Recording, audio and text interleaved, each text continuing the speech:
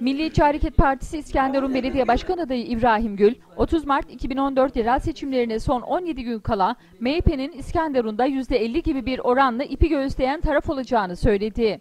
Diğer siyasi partilerin kendilerini yakalama imkanı olmadığını ifade eden İbrahim Gül, bizler bir nehir olduk, çok hızlı akmaya başladık, çağlayan olduk dedi.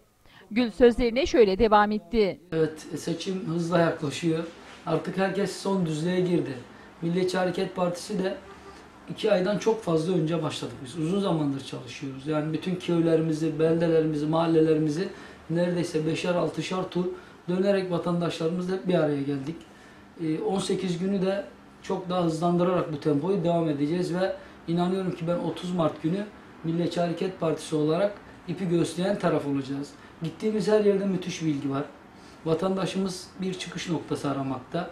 İskenderun Belediyesi'nin kötü idare edildiğini, İskenderun Belediyesi'nin koordinesiz ve e, düşük tempoyla çalışması 5 yılı boşa geçtiğini göstermektedir. Vatandaşta oluşan algı budur.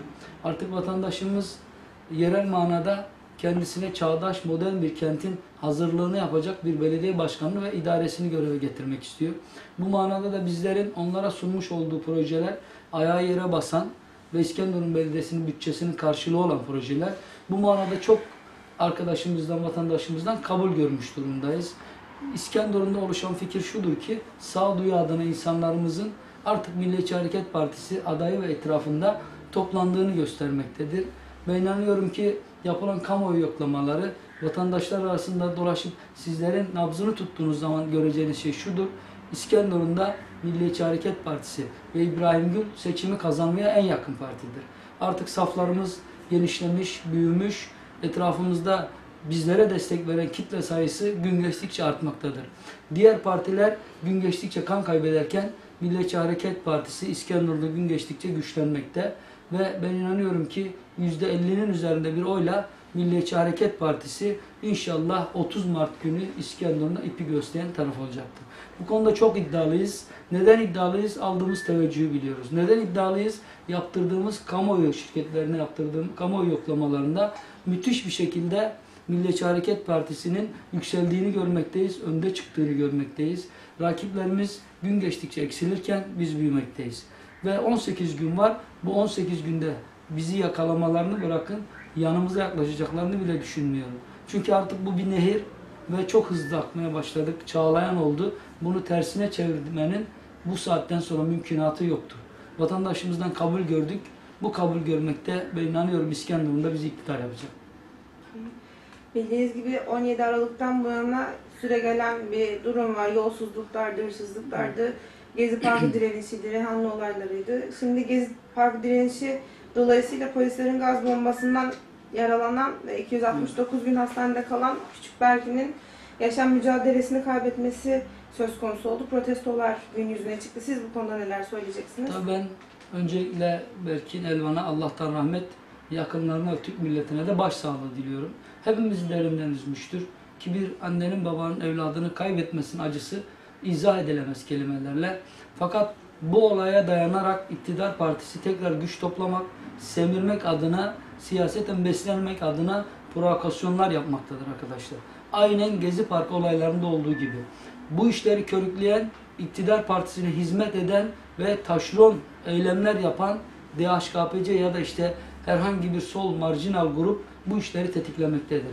Ben hem İskenderun'a hem de Türkiye'deki tüm vatandaşlarımıza buradan çağrıda bulunmak istiyorum. Bu kirli tezgaha lütfen alet olmayın. Kan kaybeden, gün geçtikçe zayıflayan ve iktidardan gideceğini anlayan AKP iktidarı her zaman yaptığı gibi gerginlikten ve çatışmadan beslenmek adına insanlarımızı sokağa dökmekte, insanlarımızı tekrar çatıştırmakta ve bir grubu arkasına alarak iktidarını muhafaza etmeyi düşünmektedir. Onun için herkes uyanık olmalı.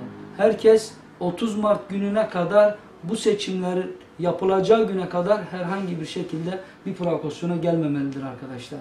Çünkü bu oyunu, bir filmi biz 7-8 ay önce yine izledik biliyorsunuz. İşte iktidar partisinin oyları %30'lara 35'lere düşmüştü. Gezi olaylarındaki çatışmadan beslendiler, semirdiler. Tekrar oyları toparlanma eylemine girmişti. Geriye kalan süre içerisinde baktığımızda aynı şekilde düştüler. Son işte yolsuzluk ve rüşvet operasyonları da diplemiş durumdalar. Bunu toparlamak için yapılan bir manevradır bu. Bugüne kadar ne oldu? 9 aydır bu olaylar yatışmıştı. 9 aydır bu çocuğumuz hastanede komada yatmaktaydı.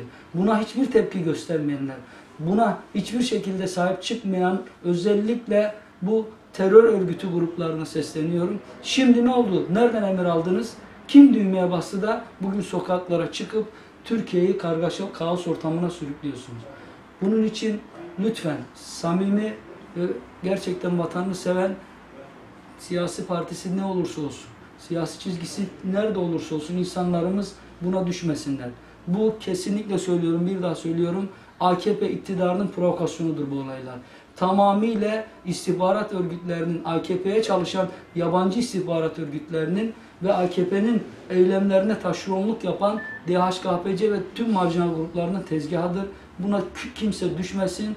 Lütfen 30 Mart'a kadar sağlıklı bir ortamda kargaşanın, kaosun olmadığı, kavganın olmadığı bir ortamda ülkemizi seçime götürmeliyiz. Ve bu iktidarı demokratik yollarla geldiği gibi göndermeliyiz diyorum.